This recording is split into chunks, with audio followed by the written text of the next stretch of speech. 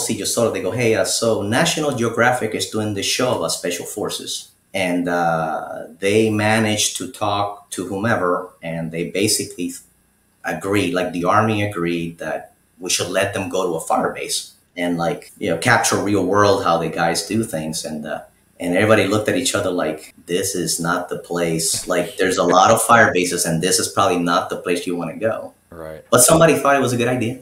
So uh, they went out there so they came in and they landed and uh, i mean it was one of those like hey how you doing i'm such and such and i can't guarantee your safety it was like the first thing off the, the gate so we went out so we took them out one day and, and we you know we we thought long and hard about it and the team leader kind of rolled me in and he goes hey man um, you know how, how do we go about doing this? Um, and then we all kind of agreed that, hey, let's just kind of do like a medcap or something so they can get their footage. So we did like a day medcap thing, and then we came back, and then um, then we decided, then then we went out again, and it was around the same place of Yakdan, that same place with the big tick, and uh, we were driving through um, the side of a, of a mountain. Mm-hmm. And um, so we had like some of the Kandak guys kind of walk in front of us um, with uh, with some mine sweepers, some mine detectors. That half of them didn't even have batteries. Later on, we found out. so they're going and go, "Hey, we found a we found a mine."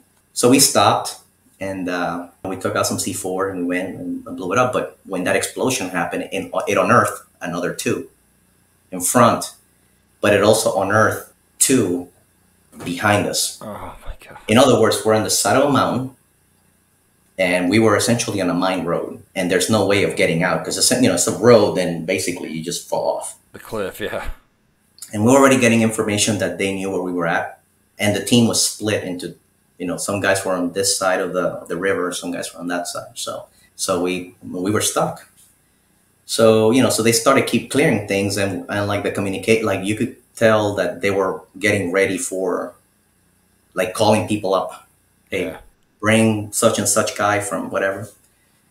You're talking about the enemy, right? You gonna you yeah. Were, oh yeah, yeah, yeah, yeah. So I was like, so I got on the radio. Go, hey, I need to know what's on the air right now.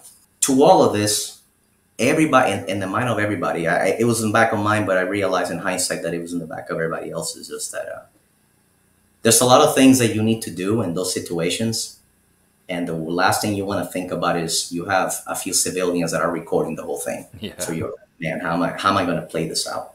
So we keep clearing, and uh, I think at the time uh, they say, "Hey, we don't have any CAS available, but you know, just kind of keep us posted." So we clear enough where I kind of pulled off, and we we had clear enough of a route to a piece of high ground, and I parked.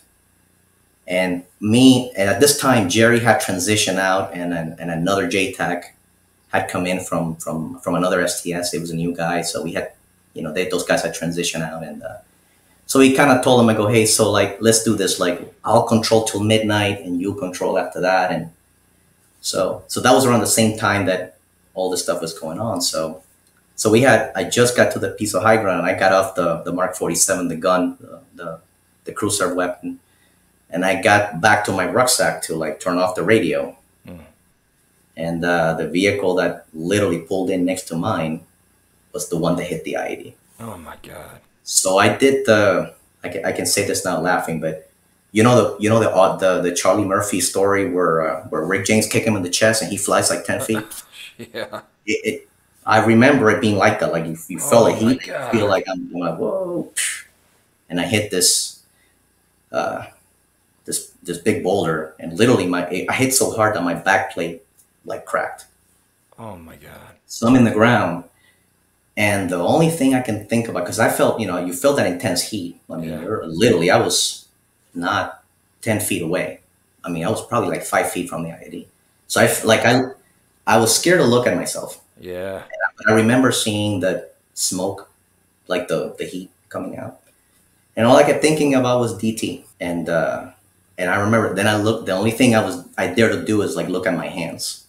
And in my, uh, in my in this hand. I don't know if you see the finger, but yeah, I had like a like a silver dollar size of like uh, shrapnel. Oh, and uh, so I'm there. So I'm like, shit. Like I hadn't, I didn't know where to move or, and I kept hearing rounds sipping past, you know, and uh, so here's where some of the the some of the stuff with people that have traumatic brain injury kind of plays in for those who don't know.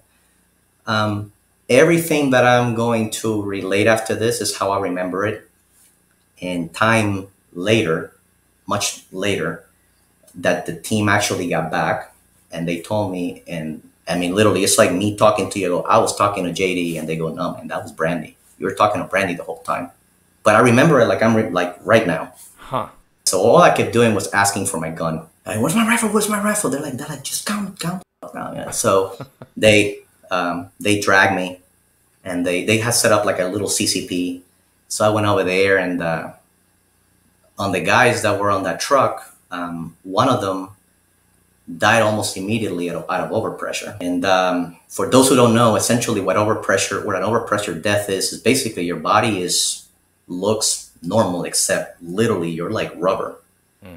Like it crushes your bones essentially. So I'm sitting there, and uh, and the guy who was the medic, good friend of mine, Rob, he goes, "Hey man, like like hold the eye, like 'cause I had to stay. They wanted me to stay uh, awake, Sure. and I'm like, yeah. So I'm holding an IV bag, and I'm like, I'm like, oh, you think he's gonna be all right? And he goes, yeah, yeah, he'll be all right. And I said, cool. And then they brought some other guys that were injured, and some of the National Geographic guys were injured. So then eventually a helicopter landed, and um, they picked some of us up, and um, and we flew back to TK. And uh, when I was told what happened, he goes, yeah, you were on the ground, you went over, like that. We took it to the CCP. You did do the thing with the bag. You were feeding an IV bag to a to somebody who had expired, but they needed to keep you alive. Then you stood up when this when the helicopter was going to come in, and you walked on your own down to the helicopter. And along the way, I don't remember any of this.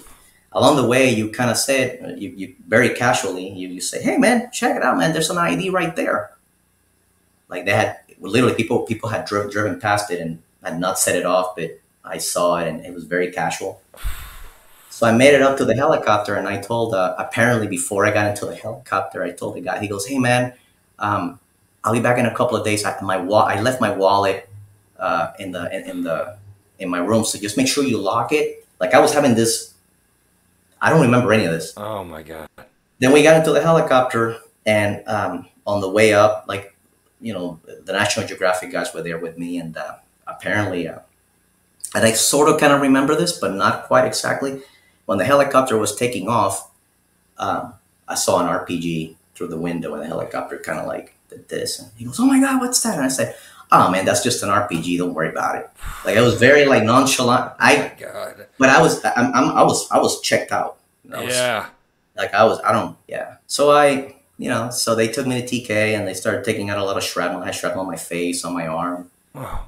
Um, I messed up my back a little bit, but I can still walk. And um, and then I blew out. Then my my peltor had bent up, and like I was bleeding through my uh, through, through my ear. But you know, all in all, um, I was I was walking wounded, right? So uh, they go you, and I was gonna leave uh, the following week. By the way, this all these things that horrible things that happen in that place is always so people are living with that are gonna leave within a month. Jeez.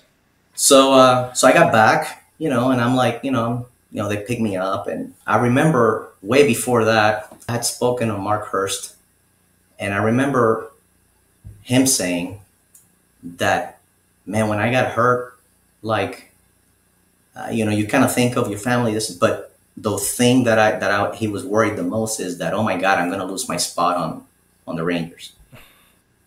And I remember at the time, you know, that was that was my life, you know, that was I was petrified of like so I'm like, hey, I gotta like turn this around and like get fit quickly and whatever. And uh, I I rushed a lot of things um, physically, like you know they did you know therapy with my hand and whatnot, and so I was able to like do my thing, and I was I got back on jump status, and so I I deployed again, but they said, hey, why don't you this time around you just go to CJSOTF?